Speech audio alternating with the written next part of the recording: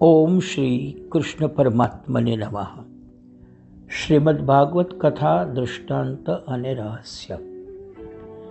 ગીતાજીમાં કહ્યું છે, ભાવ સંશુદ્ધિ રીત્યેત તપો માનસ મુચ્યતે.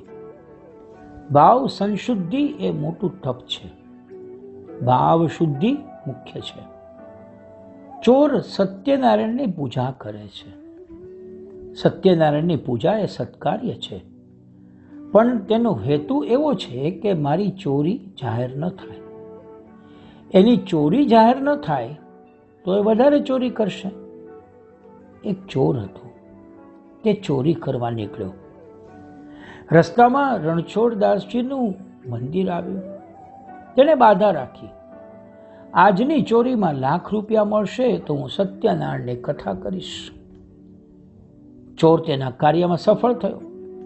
તે સત્યનારાયણની કથા કરે છે.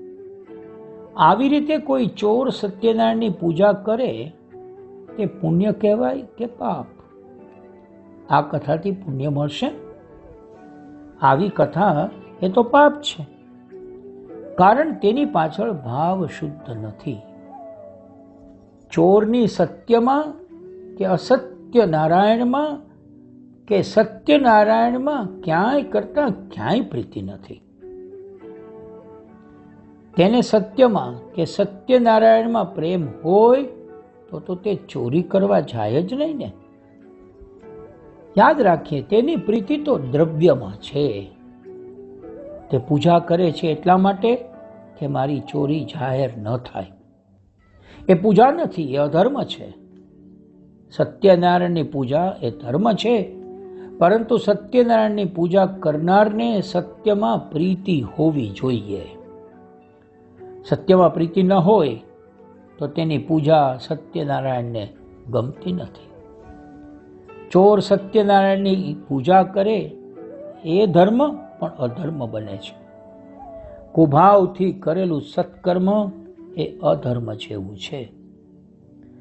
ભાવ સંશુદ્ધિથી એટલે અંતઃકરણની પવિત્રતાથી સદા સર્વદા હૃદયમાં શાંતિ અને પ્રસન્નતા રહેશે.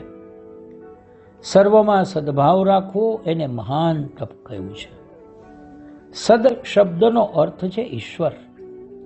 સર્વમાં ઈશ્વર ભાવ રાખવો. સર્વને મનથી વંદન કરવા. પ્રત્યક્ષ કોઈની પૂજા કરવા જઈએ તો કોઈક ના પાડશે પણ મનથી વંદન કરવું. તેથી તમારું મન શાંત થશે. તેથી તમારું કાંઈ બગડશે નહીં. માળામાં ફૂલ અનેક છે, પણ ધાગો એક છે. આકારો જુદા જુદા છે, પણ સર્વમાં રહેલું ઈશ્વર તત્વ એક જ છે. ગાય કાળી હોય કે લાલ, તેનું દૂધ તો ધોળું જ હોય ને?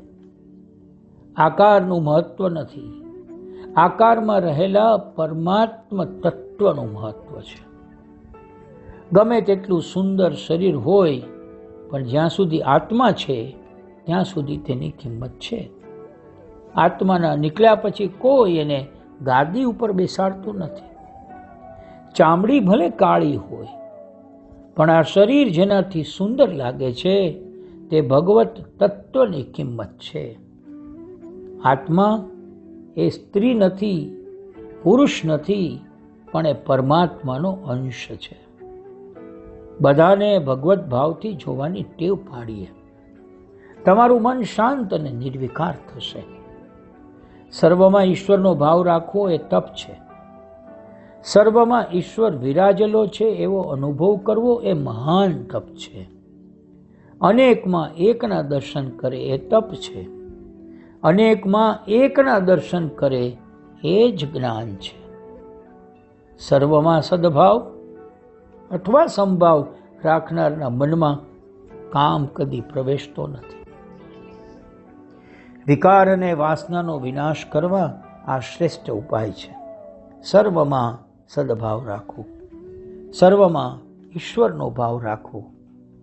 સત્કર્મ કરે તો તે સફળ થાય છે, પણ ઈશ્વરનો ભાવ કાયમ આપણામાં પ્રશાંતિ બક્ષે છે.